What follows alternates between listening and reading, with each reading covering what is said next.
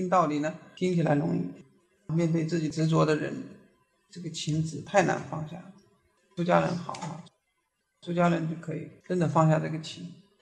世间人可能不理解出家人，但是作为我们出家人自己的话，我们是觉得自己是真的很幸运，能够放下世间的这个情执，看破这个情执，这个东西不是什么好东西。世间一切切苦难都从这个情上来，有了情就有了欲，就有了生命，然后就是生生世世轮回。没有这个情的话，就不会轮回了。人从哪里来的？就从这个情来的。没有情，哪里有人呢？这个情就是个贪爱，贪爱是母，贪爱就是母亲。无名是父亲，无名为父，贪爱为母。所以说，你从这句话你就可以悟到。一切众生都是幻化的，哪里有什么众生？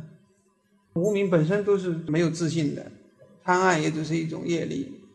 那人就是这个业所生，看上去一个一个的，就像肥皂泡一样，芸芸众生在一起，就像那个海里面的那个肥皂泡一样的。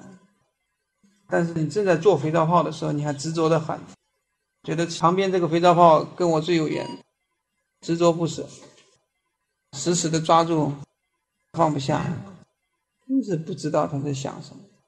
那有智慧的人就看得清楚，生命其实很短暂，在宇宙银河里面，人的生命几十年，就是弹指间一刹那的事情，没有什么东西值得我们去贪恋的。